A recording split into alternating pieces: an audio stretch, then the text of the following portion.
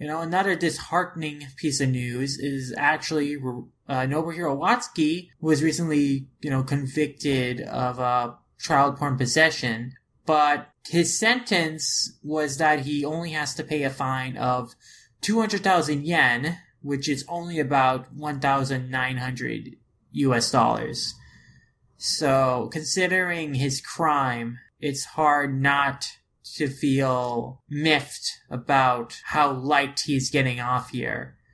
It's really a slap on the wrist. And considering that possession of child porn in Japan can lead to an imprisonment of up to one year and a maximum fine of 8,800, like, it seems Watsuki really got off light here, considering, you know, what the punishment should have been.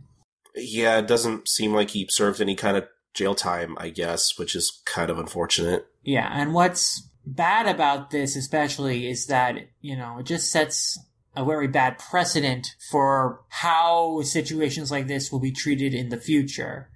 Like, if they had taken a stand against Watsuki and really punished him, you know, that would send a good message that this kind of behavior will not and should not be tolerated.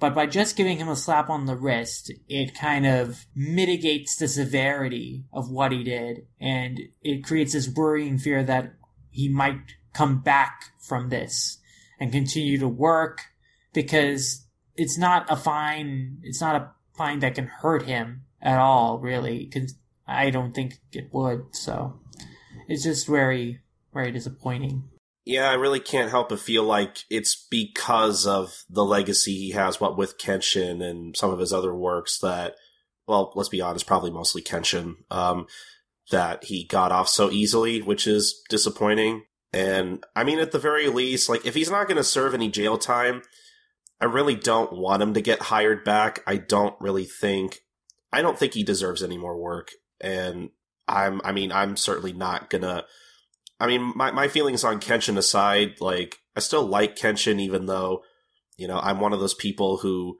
you know, it's it's unfortunate because I, I was actually thinking about doing a reread of Kenshin, like, before all of this happened. And then all of this did happen, and it just kind of soured any, it, it basically erased any desire I had to reread it. Because, unfortunately, like most people, like, I can't, I'm not going to be able to revisit Kenshin without having this in the back of my mind, and it's just, it's it's going to take from my experience trying to revisit the series, which is unfortunate because that because that, that, that like what he did is always going to be there, which really sucks. And because you know, I like like most others, I really liked his work, and but you know, if there if there comes a time where Shueisha may or may not, unfortunately, you know, give him more work, I'm definitely not going to support it because now that I know he spends most of his money on this kind of stuff, I just I don't feel comfortable. Yeah, I agree. It's a sad situation all around.